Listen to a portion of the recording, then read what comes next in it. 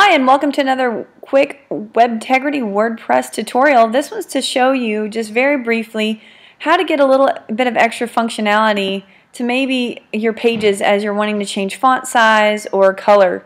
So let's just go into the first page here. I'm going to go into our About Us page. If you log into the screen though and immediately see a bunch of nerd code like this, don't panic because there are two tabs. There's a visual mode over here and there's a text mode. This text mode is for nerd code.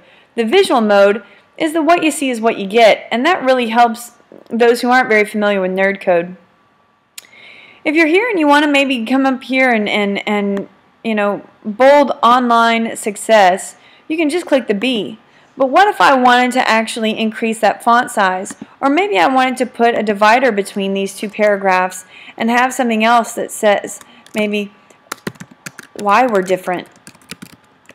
And I want that to be a big font. How do I make that change happen? There's something inside of WordPress called Show and Hide the Kitchen Sink. Look right here at this little icon. When you, when you uh, hover over it, it says Show and Hide the Kitchen Sink.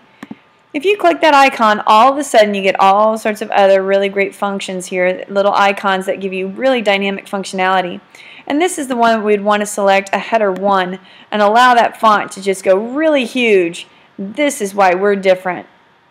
Super simple. From now on, whenever you log into your web, your uh, your pages, you that that option actually should be open already.